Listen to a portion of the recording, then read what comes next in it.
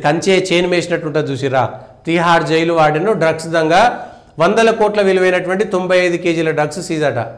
Tihar jail warden so ఇవాళ అస్సలు దొంగలు ఎవరు? ఇంటి దొంగలు ఎవరు అనేటువంటి చూడాలి. ఇంటి దొంగను ఈశ్వరుడైనా పట్టుకోలేడని ఎవరు?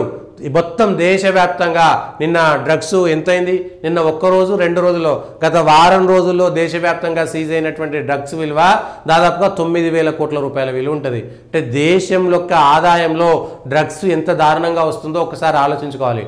దేశం నాశనం అవడానికి ఉపయోగపడుతుంది ఇదంతా దేశ నాశనానికి డ్రగ్స్ వస్తుంది కాబట్టి ప్ర- ప్రభుత్వాన్ని నడిపేటువంటి వాళ్ళే డ్రగ్స్కి సంబంధించినటువంటి ఆరోపణలు ఎదుర్కొనేటువంటి దుస్థితి వచ్చింది మనకి. ఇవాళ పంజాబ్ లాంటి రాష్ట్రం ఉడతా పంజాబ్ అనేటువంటి పేరు ఎందుకు వచ్చింది? కాబట్టి దయచేసి అధికారం ఉన్నటువంటి మొన్న కొత్తగూడెం సంబంధించినటువంటి ఒక ఏరియాలో కూడా కానిస్టేబుల్ ఎస్ఐల మధ్యన గంజాయికి సంబంధించినటువంటి విషయంలో కొట్లాట కొట్లాటలైనాయి. ఒక కానిస్టేబుల్ ఆత్మహత్య చేసుకోండు ఎస్ఐ గంజాయి దందా చేస్తే నా మీద కేసు పెట్టిరని. ఆ విషయం పైన కూడా క్లారిటీ అంటే చాలామంది అధికారం అధికారం ఉండేటువంటి వాళ్ళు లేకపోతే అధికారులు డిపార్ట్మెంట్లో ఉండేటువంటి వాళ్ళే డ్రగ్స్కి సంబంధించి డబ్బులు తీసుకొని వదిలేయడం వల్ల డ్రగ్స్ దందా పెరిగిపోతుంది. డ్రగ్స్ తీసుకొని అది పైసలు తీసుకొని వదిలేయడం వల్ల గంజాయి పెరుగుతుంది. లేదంటే అధికారులే ఇండైరెక్ట్గా దొంగలతో చేతులు కలిపి ఇట్లా డ్రగ్స్ దందా చేస్తారు ఏది ఇష్టానురీతిగా డబ్బులు సంపాదించడం కోసం?